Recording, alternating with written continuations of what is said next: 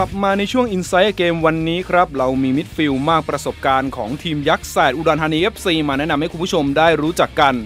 ซึ่งต้องบอกไว้เลยว่านักเตะรายนี้มีประวัติที่โลดแล่นในวงการลูกหนังทั้งระดับดิวิชั่น 1 และไทยพรีเมียร์ลีกมาแล้วอย่างโชกโชนครับ จากการสั่งสมประสบการณ์ในเวทีลูกหนังกับทีมฟุตบอลที่เก่าแก่ของเมืองไทย อย่างสโมสรฟุตบอลราชนาวี จึงทำให้นักเตะรายนี้นำประสบการณ์มาถ่ายทอดในเวทีระดับดิวิชั่น 2 ได้อย่างไม่มีปัญหาครับ ซึ่งนักเตะรายนี้ก็คือเจ้าโบ๊ทหรือจ่าเอกภานุวัฒน์ กองจันทร์ผู้เล่นหมายเลข 13 ของทีมอุดรธานี FC นั่นเองครับ สวัสดีครับ ผมชื่อภานุวัฒน์กองจันทร์ตำแหน่งกองกลางเบอร์ 13 ทีมอุดรธานี FC ครับ เริ่มเล่นฟุตบอลมาตอนอายุ 7 ขวบครับ สโมสร ฟุตบอลอาชีพที่เล่นสโมสรแรกก็ราชนาวีครับสไตล์การเล่นก็มันดุดันตัดเกมครับตามสไตล์กลางตัวรับครับ เจ้าโบ๊ทเกิดเมื่อวันที่ 20 ตุลาคม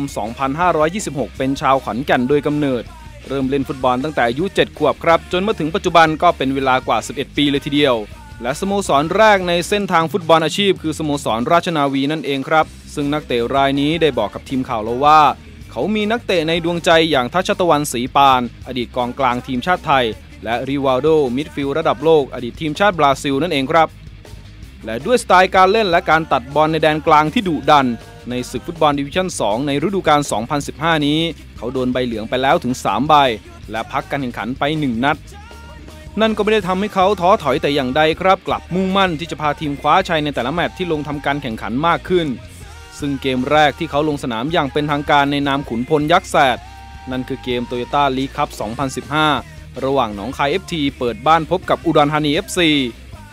เกมนั้นทำให้เขาประทับใจแฟนบอลของอุดรธานี FC เป็นอย่างมากครับ ซึ่งเขาก็สัญญาว่าจะตอบแทนแฟนคลับชาวอุดรด้วยการมุ่งมั่น พาทีมก้าวไปสู่ลีกที่สูงขึ้นให้ได้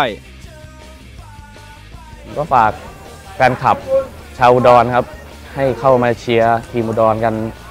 เยอะๆ ให้กำลังใจนักเตะกันว่าทุกคนทุ่มเทเพื่อทีมเพื่อเป้าหมาย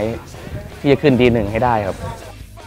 นักเตะในทีมทุกคนครับพยายามที่จะเล่นกันอย่างสุดความสามารถแม้บางครั้งผลการแข่งขันจะออกมาได้ไม่ประทับใจแฟนบอลนัก นั่นก็หมายความว่าเรายิ่งต้องให้กำลังใจกัน เพื่อที่จะช่วยให้ทีมไปถึงเป้าหมาย พร้อมทั้งนักเตะรายนี้ครับ กับผู้เล่นหมายเลข 13 ผานุวัตรกองจันทร์ครับ